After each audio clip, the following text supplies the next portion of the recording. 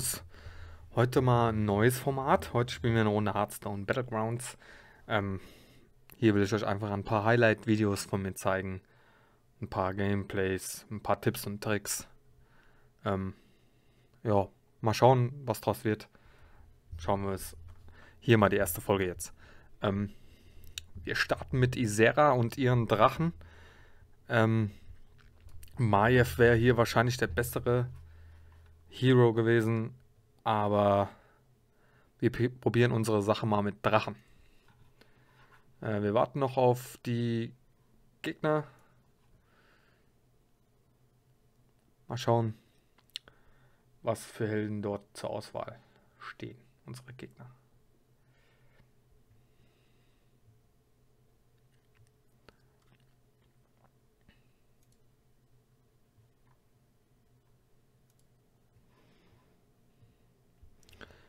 Ja, in der ersten Runde ähm, wählen wir unseren Welpling. Denke, er ist hier nicht nur die beste Wahl, sondern passt auch noch zu unserer ähm, Heldenfähigkeit. Denke, hiermit haben wir einen guten Start. Gibt sichere bessere Minions, zum Beispiel Token-Minions, die man am Start wählen kann, aber der Welpling ist in der mittleren Kategorie anzusehen, würde ich mal sagen. Nicht besonders stark, aber auch nicht allzu schwach.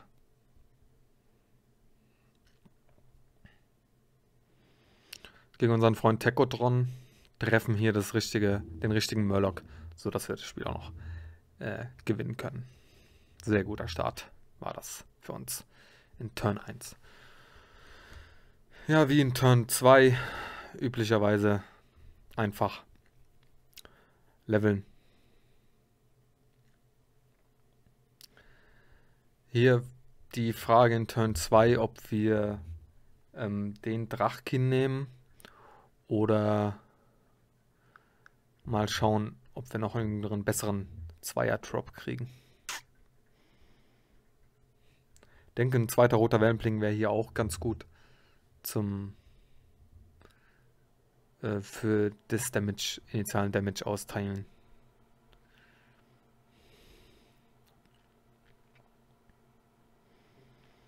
Ja, Jock hat hier seinen Murloc im ersten Zug direkt gepimpt, deswegen haben wir hier im zweiten, im dritten Zug keine Chance gegen das dicke Murloc.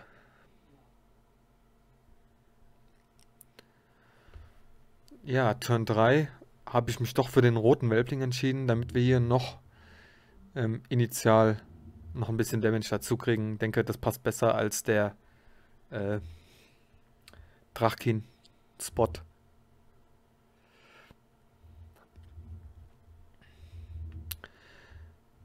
Bei Drachen sollte man im Laufe des Spiels nicht 100% nur Drachen wählen, sondern auch ähm, starke Minions picken, wenn man die Chance dazu hat, weil Drachen alleine am Start nicht sonderlich stark sind. Ja, hier verlieren wir gegen ähm, den Dämonenjäger, weil er einfach dank der Heldenfähigkeit mit seinen Dienern zuerst angreifen darf und unsere nur einen Schaden machen. Ja. Zug 4 sollte man, wenn es geht, zwei Minions picken, damit man sein Mana optimal spendet, sag ich mal. Deswegen haben wir uns hier für die zwei Minions mit den größten Stats entschieden. Ja,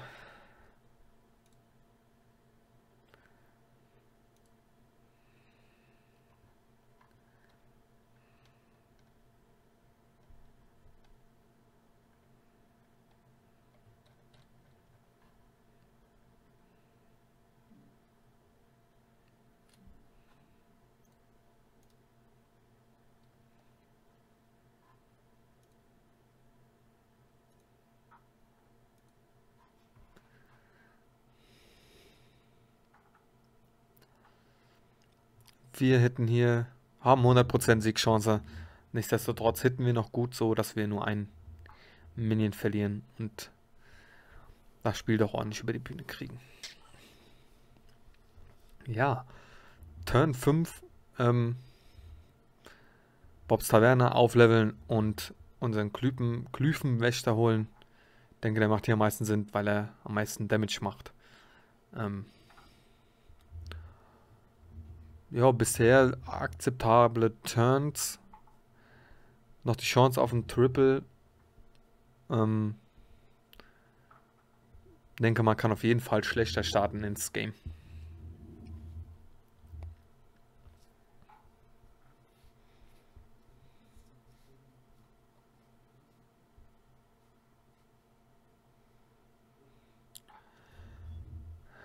In Zukunft wird es mehrere, mehr Gameplays noch geben für Hearthstone. Wenn ihr irgendwelche Wünsche habt, ähm, für Tipps oder für andere ähm, hilfreiche Videos, dann schreibt es einfach unten in die Kommentare und ich versuche dann bei Zeit mal Videos dazu online zu stellen. Schauen wir mal, was uns in Turn 5 für einen Gegner erwartet. Flickwerk. Ähm, hier töten wir erstmal zwei Minions. Deswegen sind die, die roten Welblinge nicht so schlecht. Ähm, hier hätten wir natürlich noch ein gutes Minion, so dass wir ähm, die zwei Piraten noch traden können. Ja, es geht auch gut weiter, Turn 5. Darauf kann man auf jeden Fall aufbauen. Ähm, Turn 6, ja, kriegen wir einen Drache, der uns bufft, was nicht so schlecht ist. Hier natürlich noch der Bronzewächter ist ein sehr starkes, sehr starkes Minion. Wenn man es auch noch buffen kann, umso besser. Der wird in den, in den nächsten Zügen auch noch eine größere Rolle spielen. Hier haben wir gleich noch einen Buff-Minion. Ähm, dazu noch ein Drache. Perfekt. Wichtig in, den, in der Drachensynergie ist, dass man seine Drachen relativ schnell hochbuffen kann, weil sonst haben die Drachen zu wenig Stats. Ähm, mit, mit 3 Angriff, 4 Angriff ist man halt nicht sonderlich gut aufgestellt.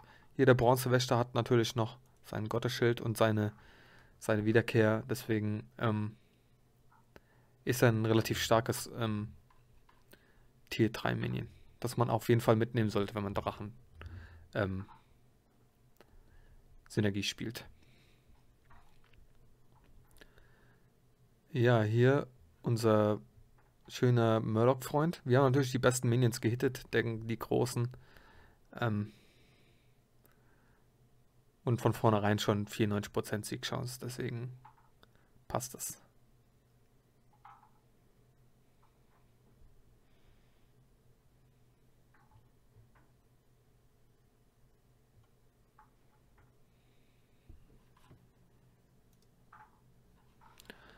Ja, hier noch die Chance aufs Triple. Deswegen leveln wir einfach ab.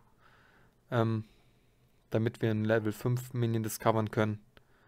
Und ähm, ja, wir entscheiden uns hier für Bran. Bran, sehr starker 5 äh, Sterne Drop, ähm, der perfekt zu unseren Kampfschrei-Synergien passt, wie vom Zwielichtbote.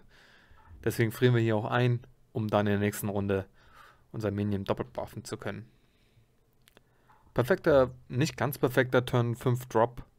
Äh, Tavern 5 Drop, sondern wär, hätte bessere gegeben. Ähm, aber mit dem Brand kann man auch gut arbeiten. Feuerkralle ähm, wäre zum Beispiel ein besserer Drop gewesen, wenn wir da mehr unseren Drachen mehr pimpen könnten als mit Bran, aber Bran ist auch okay.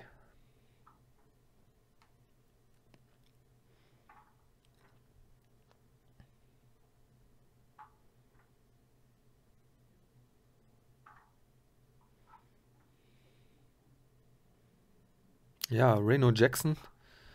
Ähm, hier direkt mal ein paar Minions zerstört, die ihm helfen. Auch hier 93% Siegchance. Ähm, ja.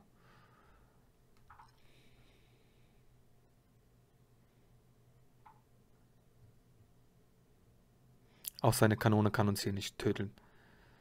Der Bronzewächter überlebt mit seinem Gottesschild.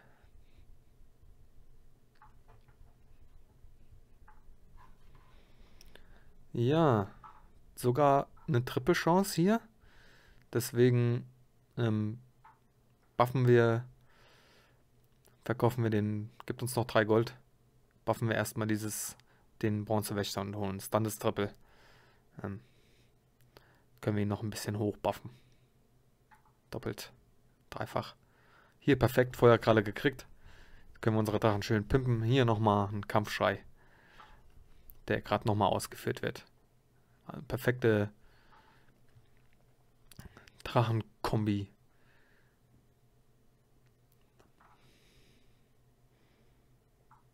Hier den Zwielichtboten. Buffen wir nochmal unseren Bronze, Drache. Und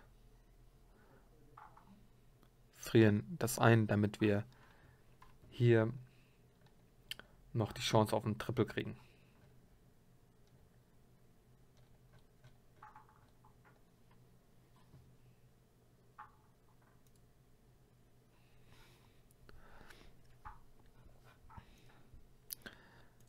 Die Feuerkralle ist auch sehr wichtig in der Drachensynergie, deswegen sollte man ähm, man muss ihn auf jeden Fall mitnehmen, sonst hat man am Ende keine Chance. Oder eine geringere Chance, weil er doch relativ stark wird im Laufe der Zeit. Hier unser Bronzewächter bringt uns wieder das Spiel. Deswegen ein super Dreier-Drop, den man auf jeden Fall mitnehmen sollte.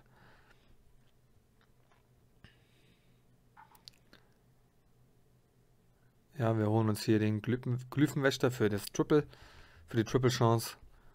Ähm, leveln hier ab, damit wir schnell auf Level 5 kommen. Ich denke, wir sind in einer guten Position zum Leveln. Deswegen hier einmal hoch. Hier habe ich einen kleinen Fehler gemacht. Ähm, vielleicht hätte man den nicht verkaufen sollen, aber der Glyphenwächter macht hier dann doch, dann doch mehr Schaden. Ähm, deswegen passt es hier auch.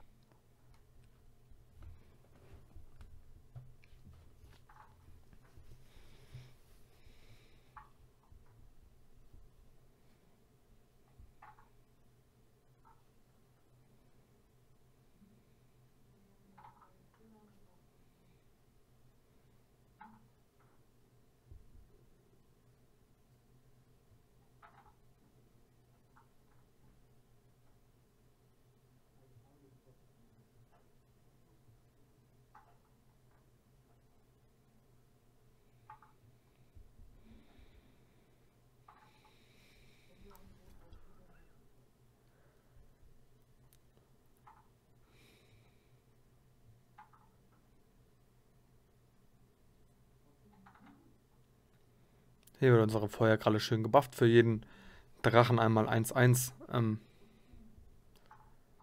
auch hier wieder fast 100% Siegchance.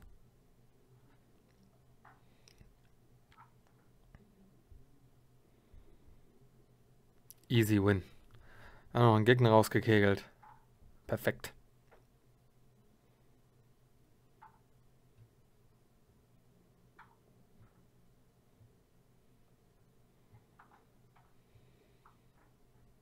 Hier holen wir nochmal ein Kampfschreiminion zum Buffen. Ähm, hier der Verteidiger von Argus. Damit können wir unserem Bronzedrachen noch ähm, Spot geben. Den Drachen können wir verkaufen, weil er keinen Spot mehr braucht. Ähm, Hier habe ich überlegt, ob man auch dem auch der Feuerkralle Spot gibt. Aber ich denke, das macht wenig Sinn. Deswegen geben wir hier nur dem Bronze, dem Bronzewächter ähm, den Buff. Hier kriegt unser Glyphenwächter noch ein bisschen Power, damit er ein bisschen mehr Damage macht. Ähm, holen uns noch den zweiten Bronzewächter dazu für die Triple Chance.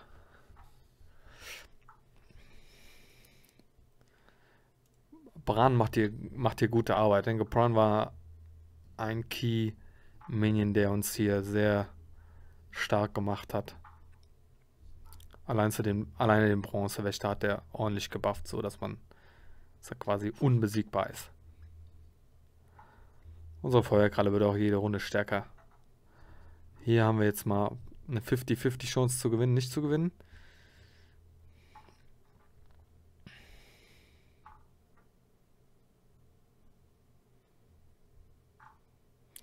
Ganzen großen Minions weghauen.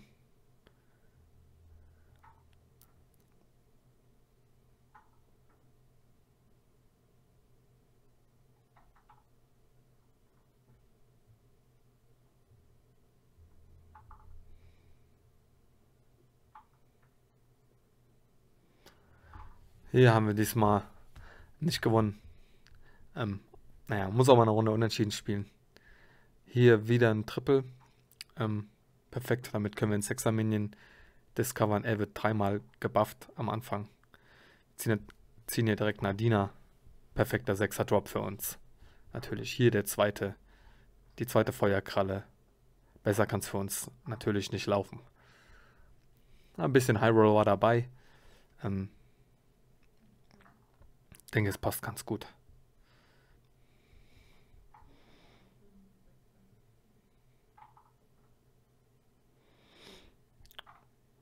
Unser roter Welpling, leist, unser roter Welpling leistet immer noch gute Dienste. Ähm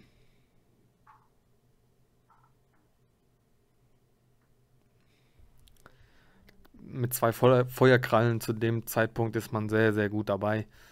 Ähm plus Nadina. Passt perfekt.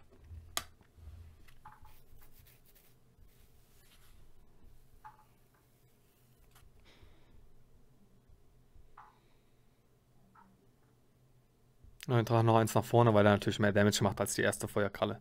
Äh, zweite Feuerkralle, deswegen. Hier auch wieder 100% Siegchance. Oder fast 100% Siegchance. Durch, unseren, durch unsere Gottesschilder passt das natürlich perfekt.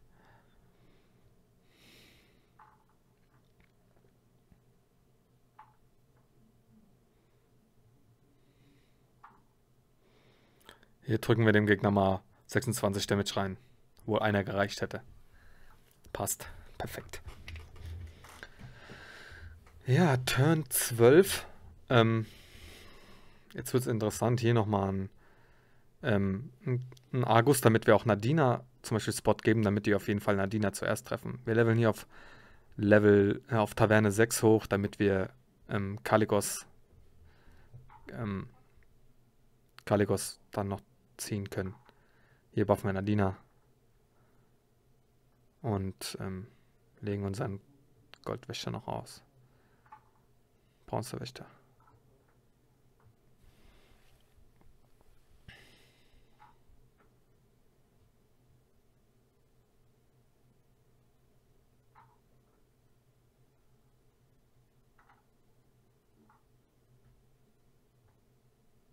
Nadina natürlich nach vorne damit die auch als erstes angreift und den Drachen Gottesschildern verteilt.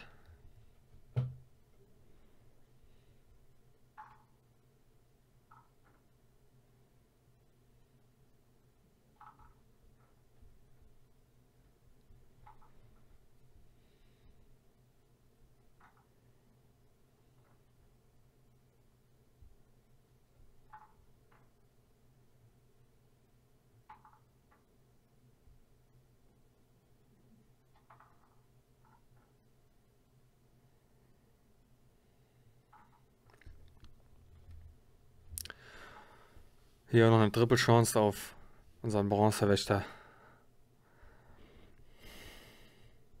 Und vorher gerade Triple Chance. Schauen wir mal, wie die weiteren Turns verlaufen sind. Hier gegen Flickwerk 100% Siegchance, weil unsere Minions einfach mit Gotteschild halt perfekt sind. Gegen die, auch gegen die starken ähm, Piraten, allerdings sind unsere Drachen zu stark für seine Piraten. Vor allem mit Gottesschild. Quasi unbesiegbar. Auch hier verteilen wir wieder ordentlich Schaden. Der nächste Gegner, der gegen uns das Zeitliche segnen muss. Immer weiter so, immer weiter so. so da natürlich direkt Kaligos gefunden. Perfekt. Dann können wir unseren Bran auch ähm, loswerden. Und jetzt heißt es einfach nur noch Minions sammeln, die Kampfschrei haben. Also hier, damit können wir auch unseren Triple-Bonus verkaufen und einfach alle Drachen buffen, die wir haben. Einfach Minions kaufen, kaufen, kaufen.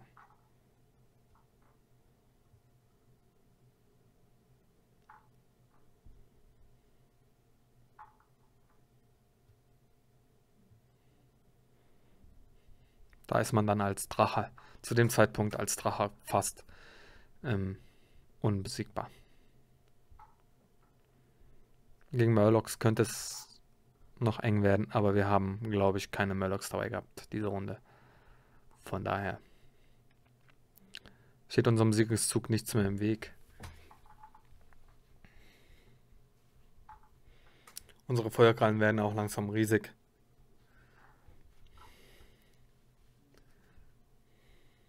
Kalikos als 6, 6er Drop ist schon sehr was Feines für Drachen. Auf jeden Fall. Ja, würde es nur öfters mal so laufen mit Drachen. Bisher mit Drachen, wie gesagt, noch nicht so erfolgreich gewesen. Aber man lernt nie aus. Übung macht den Meister, denke ich.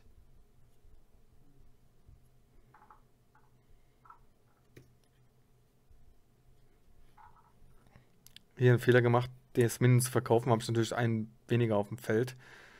Ähm, war ein bisschen blöd. Hier sind ein paar Minions dabei, die Todesrechteln haben. Ähm, aber unsere Drachen kriegen jetzt wieder Gottes Schild.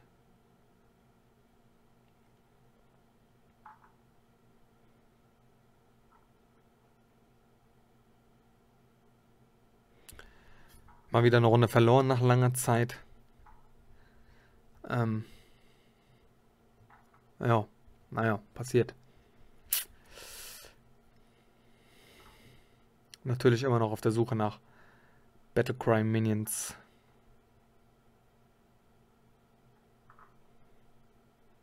Den Murloc hätte ich kann, kann man schwingen für Battlecry. Jetzt brauchen wir, da haben wir einen zweiten Kalegos gefunden. Das ist natürlich perfekt für uns.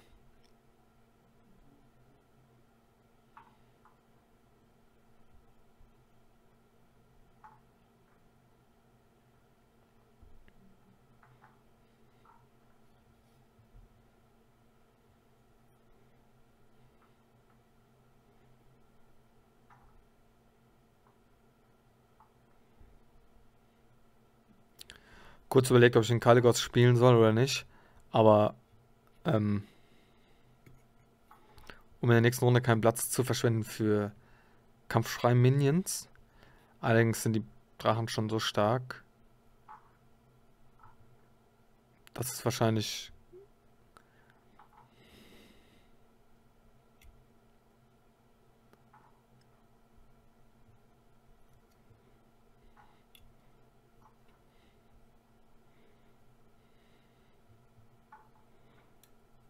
da unsere Nadina ja auch Kaligos ein Gottesschild verteilt, ähm, macht es natürlich hier Sinn, den Kaligos auch hier wieder auf den Platz zu stellen.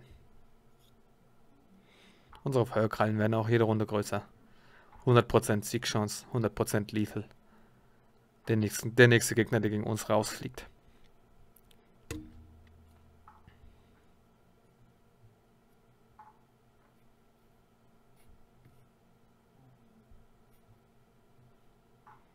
Unser Bronzedrache ist so groß. Hier kriegen alle unsere Drachen nochmal Gottes Schild.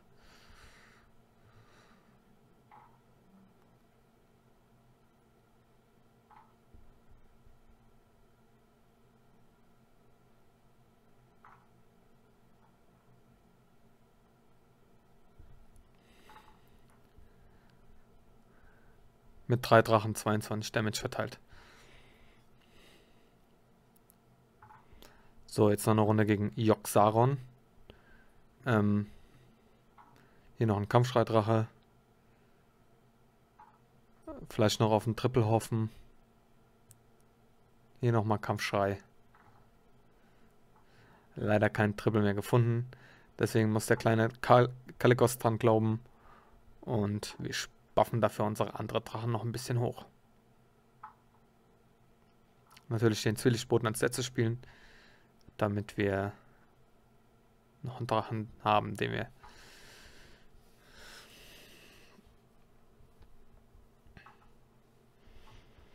mit unserem Gottesschild buffen können. Auch hier wieder der nächste Drache, den wir benutzen können für die nächste Runde.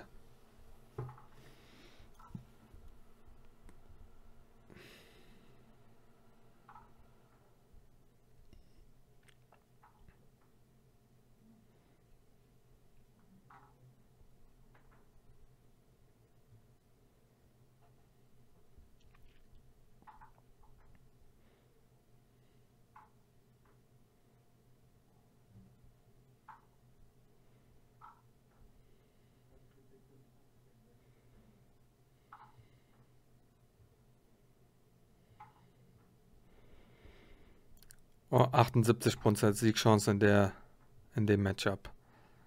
Obwohl er seine Murlocs mit Gottesschild voll gemacht hat. Aber hier töten wir zum Beispiel schon mal einen Murloc, der uns nicht mehr killen kann.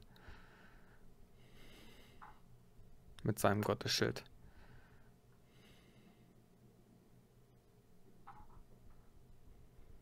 Unsere anderen Drachen sind zu stark.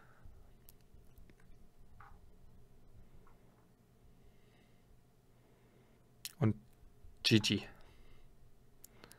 Großartiges Game. Wenn euch das Game gefallen hat, dann lasst doch ein Like da und followt meine Kanäle. Wir sehen uns beim nächsten Mal, wenn es wieder weitergeht mit einer Runde Hearthstone. Euer Sven von Ridelinho TV.